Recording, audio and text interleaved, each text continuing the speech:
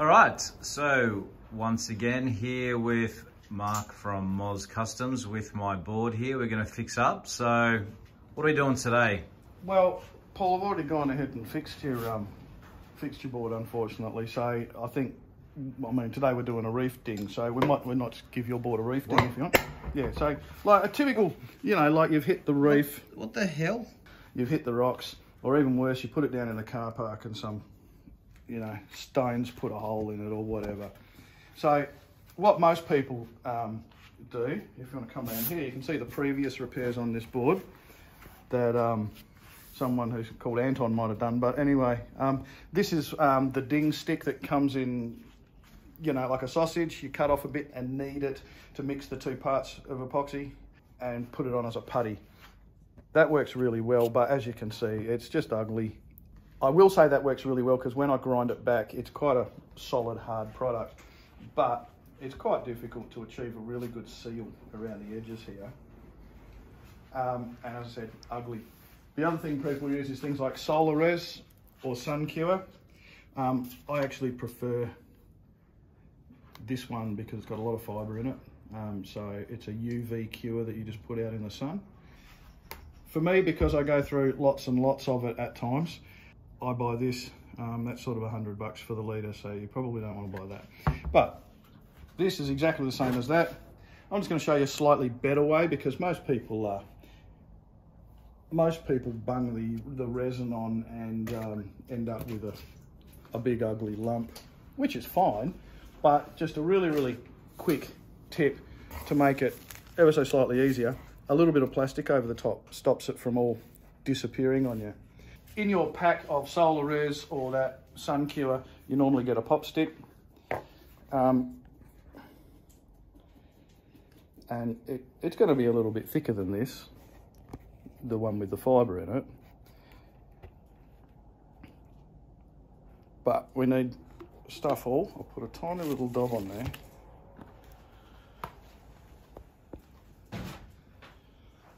And then the all important part, a piece of plastic, but something that's nice and flat. I got this straight out of the packet so it's not screwed up. Um, but anything you can do that's nice and flat not pushing it down too hard. Now, as soon as we put it in the sun, I can guarantee the wind will pick up. There's never any wind when you're at the beach, but there's wind when you want to hold a piece of plastic to a board. So just quickly taping it down, um, just in any old way so it doesn't fly away. Not trying to, not trying to help it keep extra flat or anything like that. Just, just so it's not going to disappear on us. Um, got a little bit of a wrinkle there. Yeah, I don't know if you can see it. Can you see the actual circle around the outside of it, where it's sort of blended into the paint a bit? Yeah, I think so. All right, and we will stick that in the sun, which WA summer, perfect.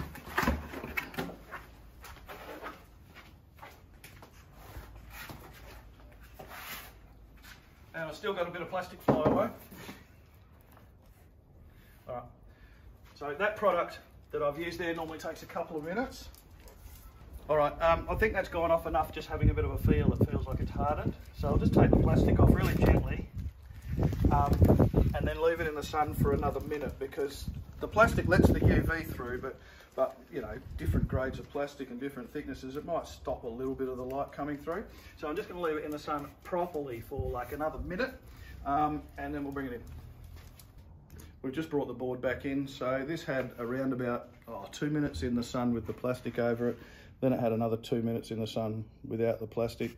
Um, there's a tiny little bit of a lip there because we're never going to get it perfectly flat. But as you can see, it hasn't got that normal great big lump that you see when people normally do um, Solarez type repairs.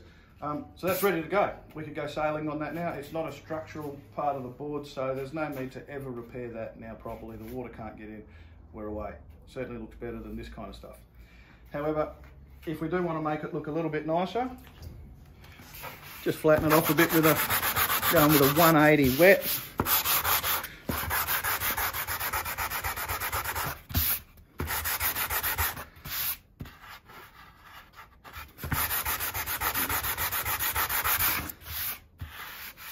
I love these rub back finishes because they're quite easy.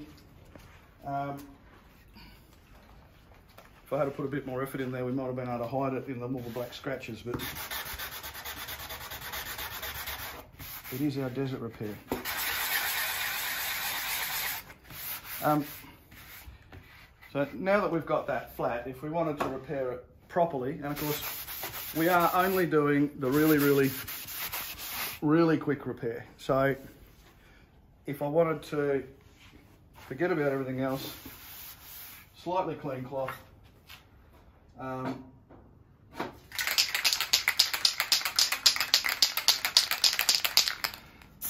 a little bit of flat black, and then not that I have it, if we, I've never been able to match this yellow, it's a horrible thing to try and match.